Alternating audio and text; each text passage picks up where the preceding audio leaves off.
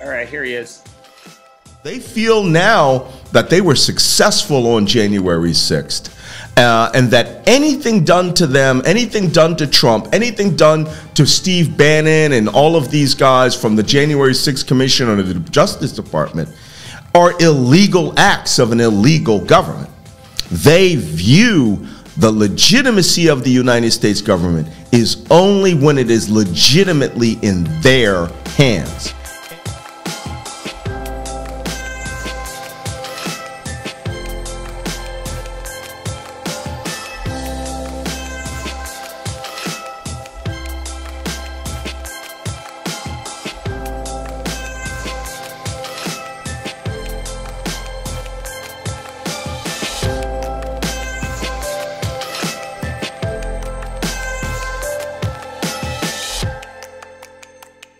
And I had predicted beforehand, I said only one of two things is going to come of, of all these armed people that started marching, counter marching in the George Floyd protests with rifles. They are going to become either one, if Trump wins, they will become the armed enforcers of his will on the street. Uh, remember all those Trump rally parades that were, you know, we used to say they were like ISIS flag parades if Trump had won, imagine that on the street, only them coming, calling, you know, carrying guns and essentially saying our word is law now. You know, unarmed, uh, unofficial paramilitaries with Trump's blessing. And I said, on the other hand, if Trump loses, these people are going to go underground. They're going to get their weapons. They're going to start training, and they are going to be prepared to take over parts of the government and carry out a civil war or or the lead up to a civil war is an insurgency, a long, large scale campaign which is both political and paramilitary and terroristic in order to destabilize a legitimate government to set the conditions to overthrow that government. What do you see coming in the future then from what you see now? Well, right now, the, if the insurrection was the first step of the insurgency, the post insurrection political machinations of the Republican Party, the self radicalization, Donald Trump preparing for the second run for the presidency, that's the political wing of the insurgency. Mm-hmm. But these hillbillies that we all were, you know, making fun of, thinking, oh, well, they're going to get their, what are they going to do? Get their guns? The U.S. Army is going to be there waiting for them. They're still preparing. They feel now that they were successful on January 6th, uh, and that anything done to them, anything done to Trump, anything done to Steve Bannon and all of these guys from the January 6th Commission under the Justice Department are illegal acts of an illegal government. They view the legitimacy of the United States government is only when it is legitimately in their hands. Any other government is, you know, liberals and Negroes and Jews who sure. have taken over America and now they must organize. So after the insurrection, they tripled down on the buying guns. You know, AR 15 ammunition in George Floyd summer went from 39 cents a bullet to the current $1.25 a bullet. They're buying it and storing it and hoarding it in massive quantities. And you foresee another attack on the government? Hmm, I foresee a different way that government might be attacked. Um, to be a real insurgency, you need the, the popular will of the people around you to be successful, right? So you don't want to be a terrorist and go to a, or, or carry out an operation and go to a state where the little ladies will shout for the cops and say you're a terrorist, you're an insurgent, you're an insurrectionist. You want to be you want to do it in a place where you have a base of popular support. And this is a good piece of center America right? The, the, the, the, Midwest and all these places. They're really red states with blue population centers that outnumber the red sections, right? So you'll see these blue dots, giant blue dots in the middle of red swaths of terrain that that's the counties, but the big cities with millions of people outnumber those people in the red areas. But imagine, if you will, that the governor of a state is a pro Trump guy that the state assembly is completely pro-Trump, that somebody who views some act that Washington does as illegitimate and the you know the rubes get in their cars and they start doing Trump parades only they bring their guns out this time and they seize an arsenal or they try to take over a military base, or they take over a National Guard base, or you know, a, a, an Air Force base, try to, and the U.S. government orders them to defend it, but the governor and the National Guard and the state sides with the insurrectionists. Now, where are we? That's rebellion. That is 1860 Civil War stuff, right? there. Well, we're already in a difficult position. Is the government really trying to bring people uh, to bear? Like, like, like we know the people who attacked, and a lot of people have been arrested, and but it's like the the pawns. Right. We haven't seen the real leaders of the insurrection face any uh, Oh, right. issue. Is the government truly trying to change to, to, to bring these people to justice? Well, you know, I, I look at the two schools of thought on that. The Glenn Kirshner school of thought, you know, he's the, he was MSNBC legal analyst and prosecutor, and then you you have other people who are who are lawyers who watch the Justice Department and they say this is the Justice Department not speaking because that investigation is so serious. Maybe grand juries are So it's still ongoing Yeah, potentially. But you don't know.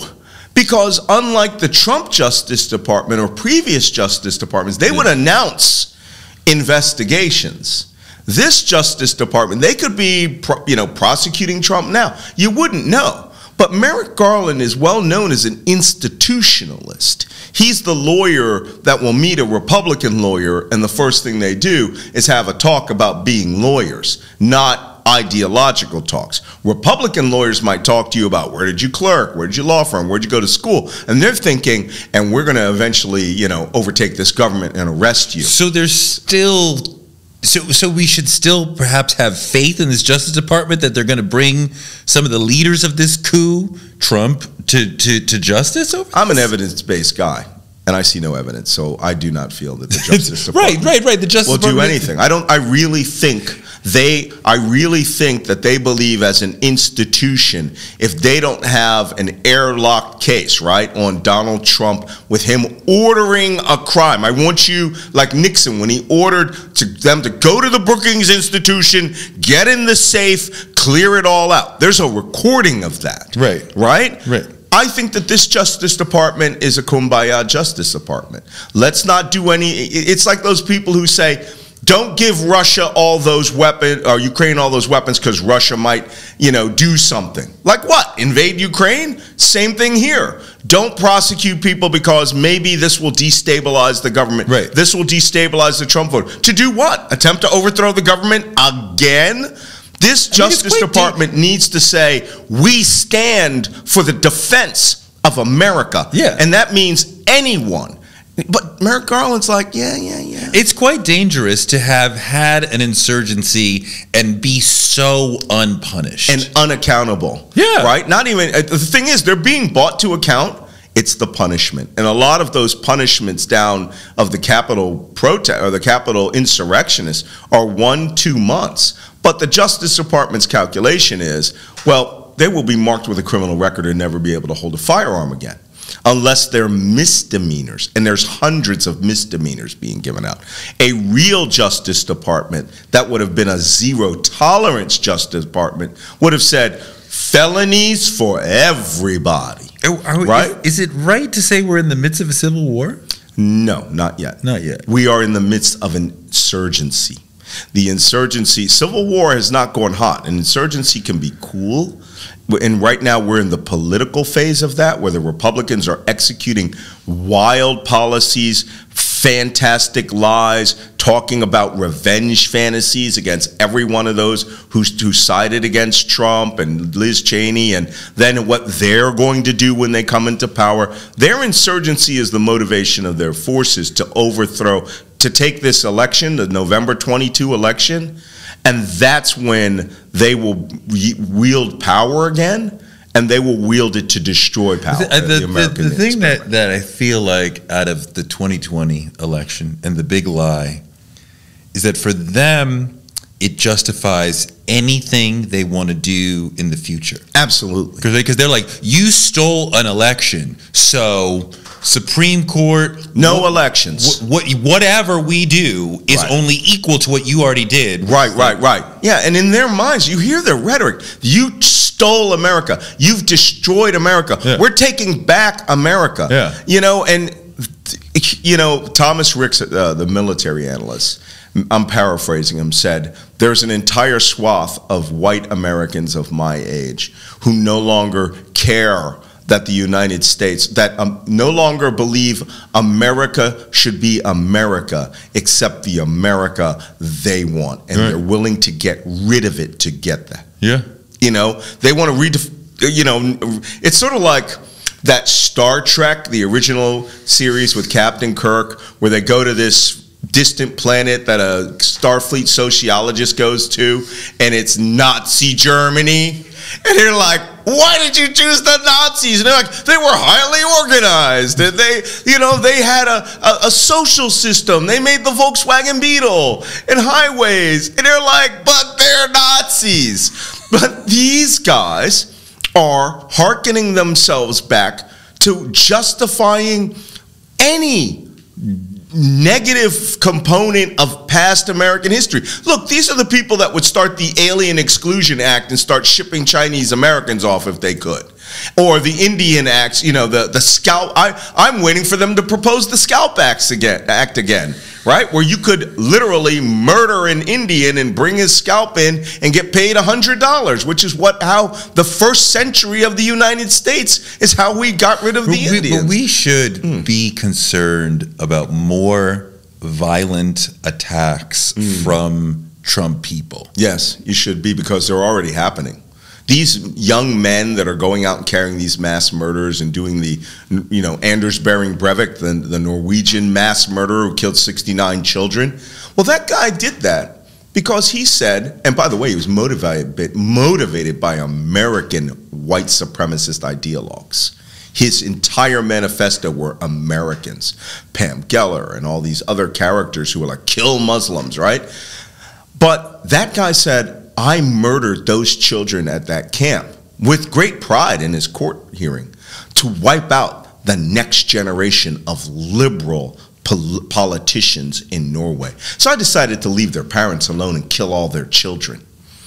Okay, you know, we have these people going into elementary schools, we have people going into malls, targeting specific ethnic religious groups. And they are universally white men, young white men using AR 15s, and they all carry, write the same copy of the Anders Behring Breivik manifesto. You have to say why you did it. You had to say how you planned it. You have to say why you chose the particular weapon you have, how many bullets you had in your magazines, how you were going to carry your bullets on those things. Like it's like a, you know, uh, you know, uh, I don't know. I don't know how to put it. Like it's like the manifestos are these manuals on mass murder, and you have to be equal to or best the next mass murder.